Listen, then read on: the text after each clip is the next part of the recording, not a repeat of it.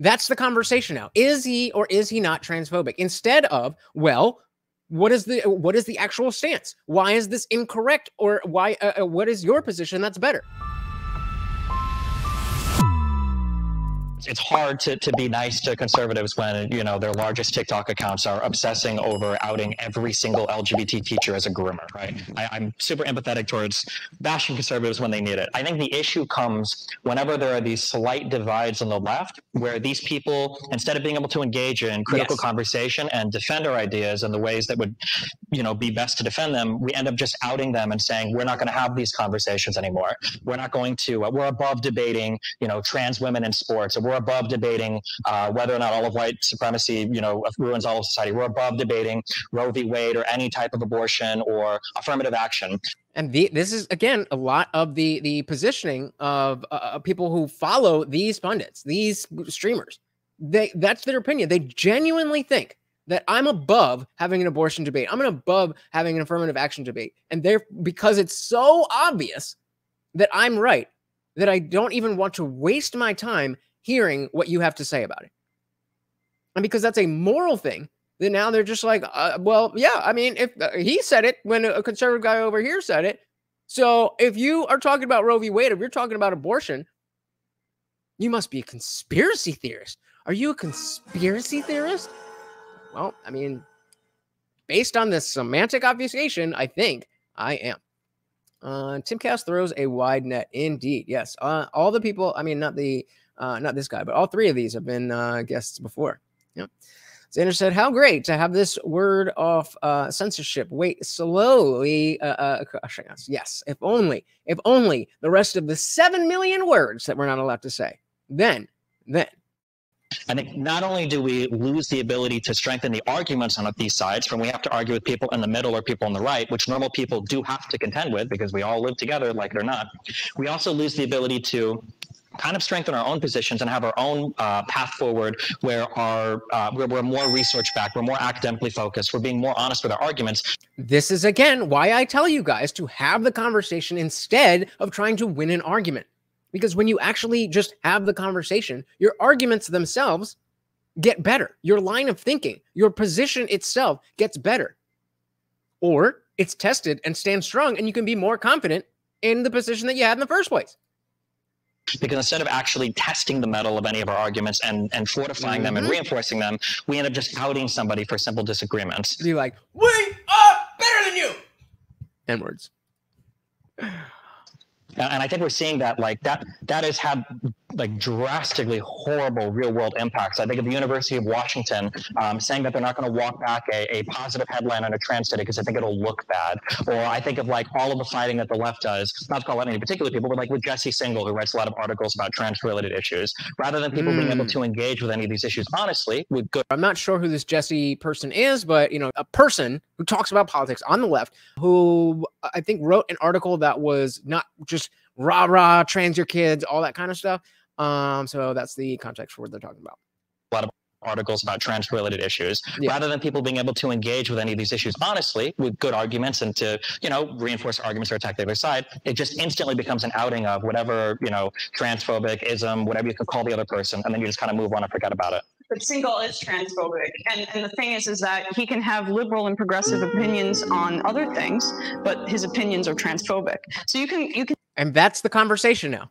That's the conversation now. Is he or is he not transphobic? Instead of, well, what is the what is the actual stance? Why is this incorrect? Or why? Uh, uh what is your position that's better? No, he was. Meh, meh, meh, meh, meh.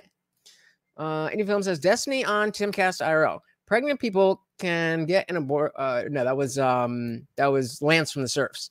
Uh, yeah, people can get an abortion up until full term. Also, if a mother takes meth and kills her unborn baby or unborn child, she should be tried for that.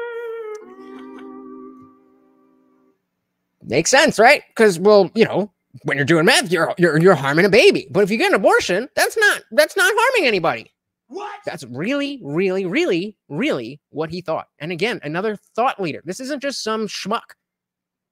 This is somebody who puts these ideas out to people every single day and they listen and then they vote. Yeah. Best one out there. I want to post no surprise that Emma immediately does exactly what Destiny says the left shouldn't do. Bingo. Yep. can make you can make claims about individual opinions and and no one's saying like you're never allowed to vote democrat again jesse you're out of the club but that that that those opinions But you did just say he's out of the club. Being transphobic is not congruent with being in the club, right? So if you're saying he's, it's not that you're out of the club, you're just, you know, out of the club. What? Hey, shout out to Dr. Evil Genius. Welcome, welcome, welcome to the party. Good, good, good friend of the channel. If you have not, please, please go check out the Talking Shit podcast. Just drop the link in the chat. Welcome, brother. Welcome, welcome, welcome. Dr. Evil Genius says, if you don't agree with me, you're weak and quaking in your boots out of fear. The word phobia has mis- been misnomered into irrele- irrelevance. Absolutely. And, and that's exactly the semantic obfuscation is that, uh, you know, if something, if you were phobic, that used to mean something. It used to mean something. Does anybody have any understanding of what Emma's position on this Jesse person is because she said transphobic? Do we know what he actually said? Did he say that he wants them all to, to be ended? Did he say maybe not in sports? Did he say maybe not in bathrooms? Well, it doesn't matter. He didn't agree, so it's transphobic. Come on, bro. Come on. uh, and and an over focus on desister myth or things like that that that is a transphobic impulse i think that that it just makes people principled and clear-eyed What? How? So looking at somebody like Singal, would we, how would we say that that's like a transphobic person? Somebody that clearly aligns with most left-leaning things, is clearly in favor of most forms of trans therapy. Is it because he takes a critical look at some research that we let's just write him off as transphobic? Um, well, I don't think that the the the I, I I don't know. I don't think that the the re I don't the analysis of um the desister myth from his end is in good faith. But I mean, Ah, so he's talking about desistance rates, where all again, all of us are probably very familiar with the idea of desistance. That if you just leave the kid alone, most likely they will go through puberty like a normal child and uh, get rid of this idea of wanting to change their body. They grow into a new body naturally through puberty, and that is an uncomfortable thing for all of us. That doesn't mean that because you don't like your body when you're a 13 year old girl, that you're a man. But, you know, if you say that, then now you're transphobic and you're out of the club. Even though she said you're not out of the club, she is specifically saying, you, yeah, yeah, don't worry, Jesse, you can still vote for our side and receive the newsletter, but we can't hang out. exactly. Exactly. I, I I'm not here to debate Jesse Singal. It's What I mean, Then why did you bring up the debate? He d- as exactly De- uh, Destiny. Uh, sorry, who whoever said it, but Destiny was making a point about specifically, specifically not doing this. And yes, he brought up somebody as a as an example to to uh, you know to be somebody. Okay, we don't agree with this thing that he said. He wrote this article or he's wrote these articles, and you know he's he's not good on those issues. We don't like him, or we don't- we don't like them the them being the the positions. But that doesn't mean we don't have to like him. Well, I'm not gonna sit here and debate. Then shut up. How about that? he's like a it's a myth. the, the fact that there's this overwhelming number of, of trans people who are desisting and that uh, doctors are pushing this onto people. I, Yup. That's happening. I think that the it, it- what you cover is just as important um, as uh, and, and what you choose to focus on is just as important uh, as what you say. And I'm gonna count that as a projection. Specifically because she's talking about this Jesse guy and how he's covering, uh, uh, you know, desistance rates, and saying what you choose to cover and what you choose to, or and what you choose to focus on and not focus on. Well, you're you're choosing to focus on the part that you disagree in the article, and choosing not to focus on the fact that you apparently have a better position. Why is that? Why not just correct him?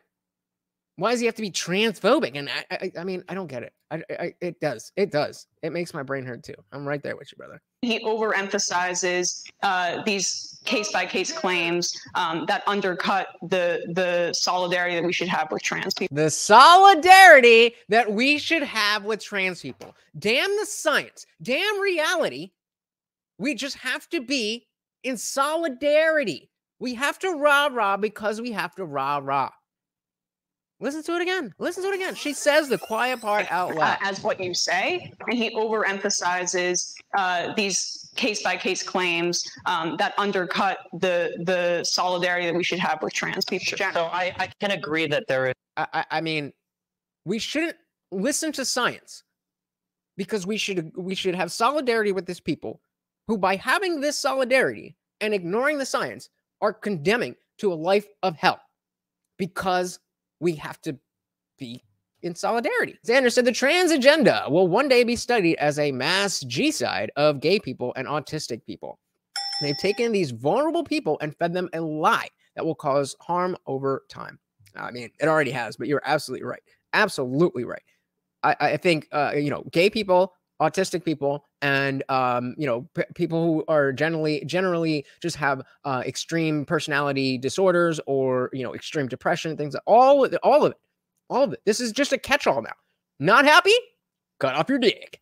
That I mean, that's what it is it's important to focus on what you decide to cover. I think that that's that can be as important as how you cover something.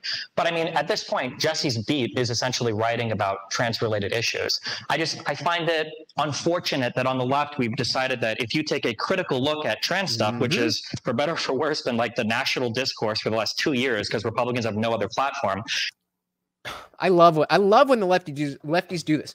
Here's this giant thing that's changing the entire world. Why are you why are you so obsessed with this? Why are you so obsessed with this? And then remember it was uh when we were talking about Jazz Jennings with Lance and Serfs on um on Timcast when he did when he had that quote that any film was talking about. And he's like, "Why do you care so much about kids' genitals?" What? Like, bro, what do you mean? And then Emma did the same exact thing when she was like, why do neo Nazis like your show? It's like, bro, all right, all right, all right, all right, all right, go ahead. Go ahead. Just don't jump down. No, just Jesus. He's gonna, he's gonna, he's gonna hurt himself. He's gonna hurt himself. All right. Yeah, because Republicans have no other platform. for better or for worse, been like the national discourse for the last two years because Republicans have no other platform. That we're not allowed to have somebody that focuses on, you know, the reality that there are some people that desist. There are some people that get on these medications that maybe don't need to be. Instead of even being able to look at that, we say that type of focus is inappropriate. But if you want to talk about like police killing unarmed black men, regardless of what the numbers there, we can have a hyper fixation on that, such to the point that we even cover these stories in dramatically incorrect ways that leads to additional rioting or other other downstream bad consequences. The I think coverage is commensurate with the fact that Black people are much more likely to be killed or abused by police, and that is why there is that emphasis. Trans people, 90% Is it though? It is absolutely not commiserate.